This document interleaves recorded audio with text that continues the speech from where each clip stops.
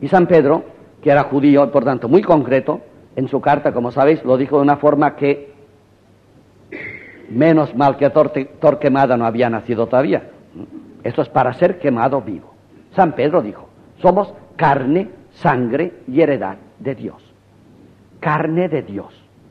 Pero si yo no tiene carne, mira, si no entiendes esto, ya despúntate de una vez. Vamos.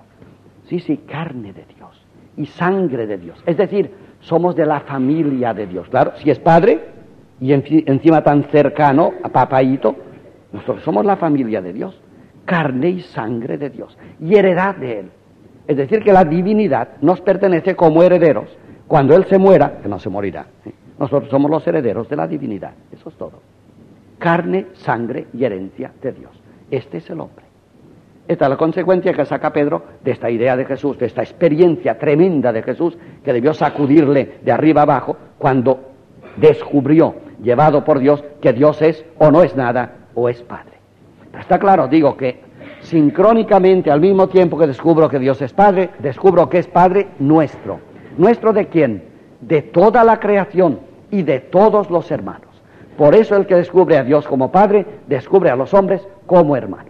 ¿Y qué son los hermanos? La lección de, hoy la he titulado La Iglesia, Eclesia. Es bueno que hablemos de ella, porque la Iglesia es casi como Dios, pero el lado negro de Dios. Todo el mundo habla de ella y casi siempre se habla mal. Pero desde luego, la que habla peor de la Iglesia es la Iglesia. Y sobre todo es especialista en dar que hablar la iglesia. Y sobre todo, además, la iglesia que da mucho que hablar, hace que muchos hablen de ella, y son los de la iglesia, que somos nosotros. Es un caso curioso, ¿verdad? Tan pronto la iglesia es algo que juzgamos como algo que reivindicamos, algo que está ahí fuera y que va vestido de rojo con solideo, vestido de blanco y viaja mucho y todo eso, una iglesia. O de golpe es otra cosa y dices, no, no, es que la iglesia son mis hijos y es mi casa. Bueno, eh, entonces cuando criticas y cuando te alegras, ¿de qué iglesia? ¿Qué es la iglesia? Bueno, aquí hay un daño, un daño inevitable, y es la influencia romana en la iglesia. No de la Roma de hoy, sino la romana, del imperio romano. Y es que cuando se habla de una entidad y de una realidad, se suelen entender estructuras políticas. La Iglesia es una sociedad como el Imperio Romano, por ejemplo. El Vaticano de hoy, aunque minúsculo, es una sociedad como el Estado italiano o el Estado español. Ahí está el error. Ahí está el error porque justamente Cristo, y eso es muy serio, en unas cuantas veces, con sus malabarismos de milagros, estuvo a punto de que le empujaran hasta el trono real. Le vamos a hacer rey. Y Cristo estaba en todo y intervenía en todo y encima se metía en todos los líos contra los fariseos, contra los curas, contra los policías. Ahí tenía su nido, él ahí estaba a gusto. Venga a machacar curas y a maltratar fariseos. Eso está muy bien, pero las veces que le acordaban, le vamos a hacer rey, desaparecía. Inmediatamente desaparecía. Así que de política, nada. Nada, nada, nada. Es una tentación. Se escurría se escurría, como diciendo, esa es la situación. ¿eh? Ante grupos políticos del Imperio Romano, el, yo que sé, el gobierno español, el Estado Vaticano, se escurre. Con otras cosas discute, estas las esquiva. Eso es muy serio. Lo dirá él, evidentemente. Es que cuando uno ha entrado en la dinámica del Padre, que inmediatamente crea el reino, que son los hermanos, que ahora diré, en esta dinámica Sucede una cosa curiosísima que se enuncia así. Dice él, habéis visto que los reyes y poderosos de la tierra, esto se dice hace dos mil años, ¿eh? Bueno, pues ahora piensen ustedes en recientes visitas a Madrid, Lipen, por ejemplo, o gentes así, y piensen, habéis visto que los reyes y poderosos de la tierra se valen de sus súbditos para que les laven los pies los atiendan y les hagan la vida feliz. Son explotadores. Y enseguida. Pero vosotros nunca lo hagáis así. Vos autem non sic. sino que el que mande entre vosotros es el servidor de todos. Ha puesto patas arriba todo el sistema. ¿Es político el sistema de Jesús? Si por política se entiende todo lo contrario de la política, sí.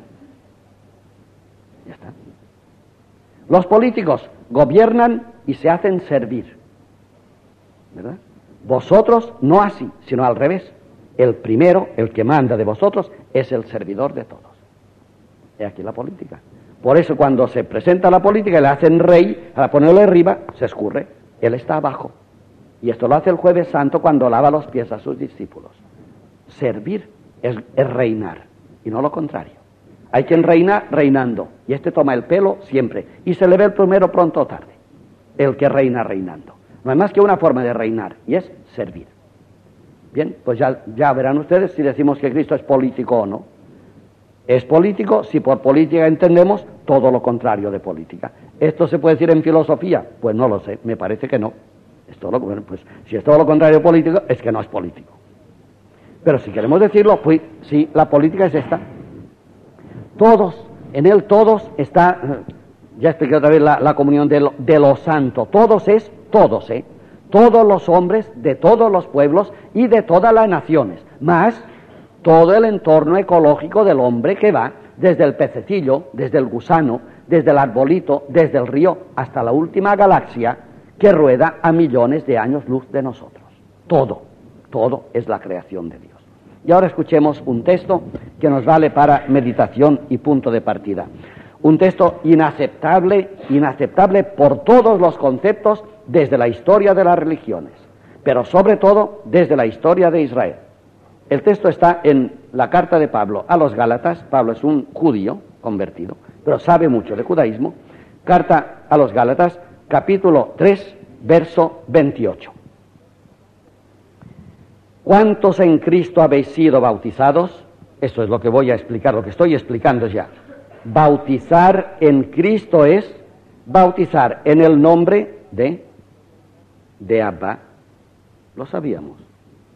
Si somos cristianos, es que hemos sido bautizados en el nombre del papaíto, no el nombre del Dios justiciero. Ah, no, a mí bautizaron en el... Serás de otra secta de otra secta. Anoche hablaban de sectas. Serás de otra secta. Pero lo nuestro no es esto. No, no. Yo fui bautizado en el nombre de papá, de lo más entrañable que tengo, del que me ha dado el ser y cuya sangre y carne llevo en mis venas. Y del Hijo y tal. Los que hemos sido bautizados en Cristo, os habéis vestido de Cristo. Y ahora viene, verso 28. Así pues, ya no hay judío ni griego, siervo ni libre, varón ni hembra, porque todos sois uno en, en griego, uno en Cristo. Fijémonos bien, cuando Dios es Abba, hemos sido bautizados en este nombre, todo, y ahora pasamos a los hermanos, eh, dejemos, la creación es hermana, pero como hoy no, no nos toca explicarla, dejémoslo. Como todos somos hermanos, hermanos significa, pongámoslos iguales de San Pablo. Insisto en los Gálatas eh, 3.28, por si luego lo quieren leer, no lo pierdan de vista porque esto, esto debería estar en el frontispicio de toda iglesia o de todo lugar de reunión de cristianos. No hay, ya no hay judío, hay contraposición o griego, una cosa. Segundo, no hay siervo ni libre, varón, como ven son relaciones humanas todas, mujer o hembra, bueno es igual, ponemos mujer. ya no hay.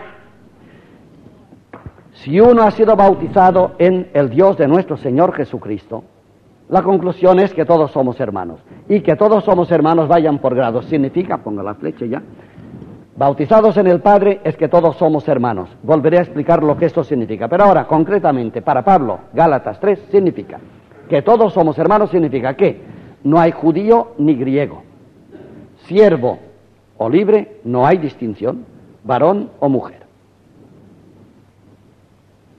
¿Hemos sido bautizados en Cristo? En la iglesia de Cristo no hay distinción entre varón y mujer.